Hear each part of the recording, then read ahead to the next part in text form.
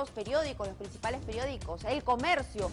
Y esto es una cifra impactante. Solo en enero hubo 464 violaciones a menores en el país. Y ojo que hasta inicios del 2020 habían 448 adolescentes internados por ataques sexuales. De estos, 249 violentaron a menores de 18 años.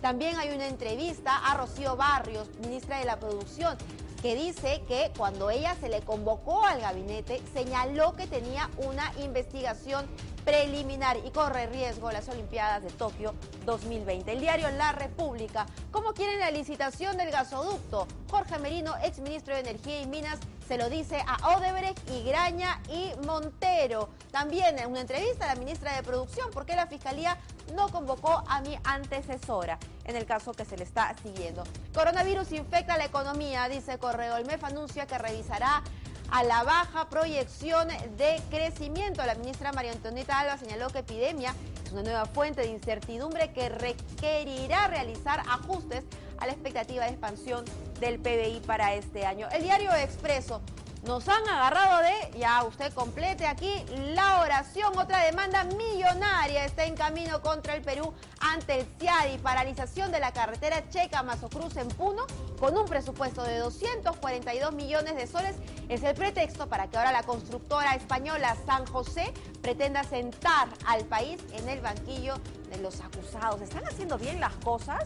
El diario Gestione dice MEF anticipa menor crecimiento este año por el coronavirus, tal como también lo compartía el diario Correo. Perú 21 tiene a otro ministro en portada, Carlos Lozada, ministro eh, del, Ministerio eh, de Transportes y Comunicaciones, que es investigado por la Fiscalía Anticorrupción. Él también dice, yo les dije, ambos ministros metidos en problemas, dice que cuando fueron convocados, precisamente le dijeron al presidente y al primer ministro cuáles eran estas investigaciones. Y el Trome, atrapen al asesino, buscan en cerros de independencia al autor del crimen de Camila. El diario Libre, vamos con los deportes, doble festejo, Paolo sigue en racha en la Copa, anoche marcó un doblete en la victoria sobre Católica de Chile. ¿Y que nos dice todo Sport?